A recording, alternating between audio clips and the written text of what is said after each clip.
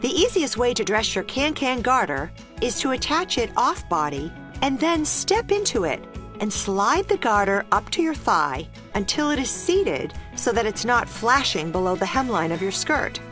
If you have selected the garter belt, you can then pull it up to your waistline and fasten one of the three rows of hook and eye for a comfortable fit.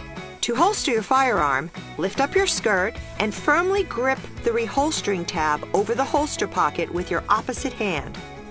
This action will open the pocket for a safe, no muzzle holstering. You're ready for a confident night on the town. Now, to draw your weapon, use your opposite hand to clear your skirt out of the way. Complete the grip and draw.